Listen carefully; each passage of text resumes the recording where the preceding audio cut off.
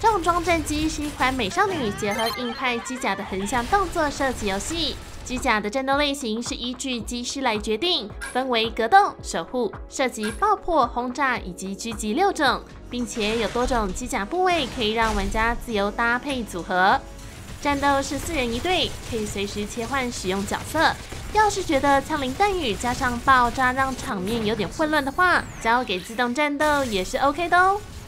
游戏基本上是结合战术地图和横向设计的策略玩法。首先在战术地图部署队伍，开始战斗后就可以拖曳队伍移动。在队伍遭遇敌人后，就会进入战斗模式。